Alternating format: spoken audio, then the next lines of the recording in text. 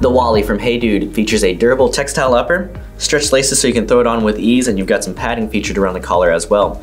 A soft textile lining and a removable foam footbed to help absorb shock, and keep you comfortable with each and every step. Also features perforated detailings and a toe bar here for enhanced grip. This sits on top of a lightweight shock absorbing foam midsole. It's nice and flexible and a textured synthetic outsole.